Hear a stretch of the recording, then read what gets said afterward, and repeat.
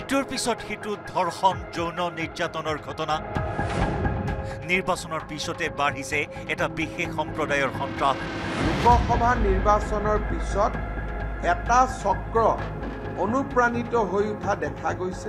খিলঞ্জীয়া মানুহৰ ক'ৰবাত বিশেষকৈ ধৰ্ষণ ইত্যাদিৰ ঘটনা কেইবাটাও বৃদ্ধি হৈছে। বটগছৰ দৰে দুৰ্বৃত্তৰ কাৰ্য শিপাই গৈছে। দৰং শোণিতপুৰ ওদালগুৰি জিলাত ওলাব নোৱাৰা হৈছে খিলঞ্জীয়া যুৱতী। কিমান দিন এনেকুৱা ভুগি থাকিম কেইদিনলৈকে আমাৰ জীয়ৰী বোৱাৰী ধৰ্কিত হৈ থাকিব? মাজবাট ঢেকীয়াজুলি ঠেলা মৰাৰ পিছত আকৌ চিৰাজুলি।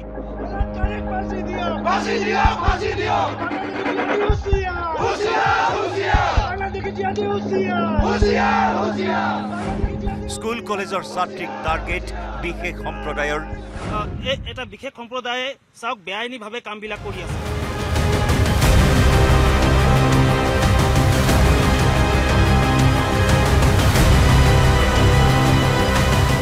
সুৰক্ষাৰ বাবে মোতায়েন কৰিবলগীয়া হৈছে মহিলা কামাণ্ডো।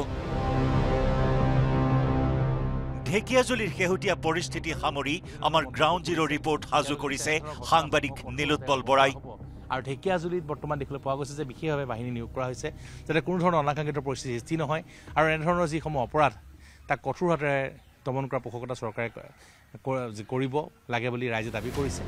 ঢেকীয়াজুলিৰ পলাশনি বস্তি আৰু ঠেলামৰাৰ ঘটনাৰ উত্তেজনা বান নৌজাওঁতেই পুনৰ পোহৰলৈ আহিছে আন এক ঘটনা।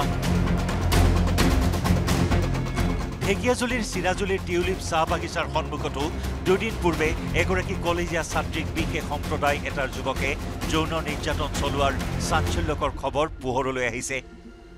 আটছাৰ শোণিতপুৰ জিলা সমিতিৰ সভাপতি লক্ষেশ্বৰ মিৰ্ধাই জনোৱা অনুসৰি পুৱা সাত বজাত কলেজলৈ যাওঁতেই যুৱতীগৰাকীক আগ ভেটি ধৰি যৌন নিৰ্যাতনৰ চেষ্টা চলাইছিল লম্পট যুৱকে। যোৱা চৌবিছ তাৰিখ সন্ধিয়া আমাৰ অন বাগিচা চাহ বাগিচা হৈ গৈছিল তেখেতে টিউশ্যন কৰে স্কুল সেইফালে আছে। টিউশ্যনৰ পৰা ঘূৰি আহোঁতে আহ, তেখেতক মানে কিশোৰীগৰাকীক মানে যি শহীদুল ইছলাম যি লম্পট তেখেতে হয়তো আগৰ পৰাই তেখেতৰ ওপৰত নজৰ ৰাখিছিলে। আহোঁতে তেখেতৰ ওপৰত মানে সেই আক্ৰমণ এটা কৰিছিলে।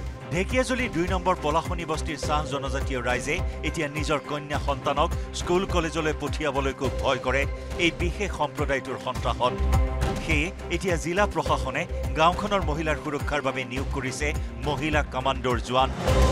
ইপিনে শুকুৰবাৰে তেজপুৰ জিলাৰ ন্যায়িক দণ্ডাধীশৰ আদালতত হাজিৰ কৰোৱা হৈছে ঠেলামৰাৰ কিশোৰী নিৰ্যাতন কাণ্ডৰ দুই অভিযুক্ত আনাৰুল খান আৰু ছাইদুল খানক। ঠেলামৰাৰ ৰাইজে দুই পাখণ্ডক ফাঁচি দিয়াৰ দাবী তুলিছে চৰকাৰৰ ওচৰত। এনেদৰেই এতিয়া তিনিটাকৈ নাৰী নিৰ্যাতনৰ ঘটনাই চেপা উত্তেজনাৰ সৃষ্টি কৰিছে ঢেকীয়াজুলি ঠেলামৰা আৰু চিৰাজুলিত। ঢেকীয়াজুলিৰ পৰা হৰেণ ভূমিজৰ সহযোগত নীলোৎপল বৰাৰ report news eighteen Assam north east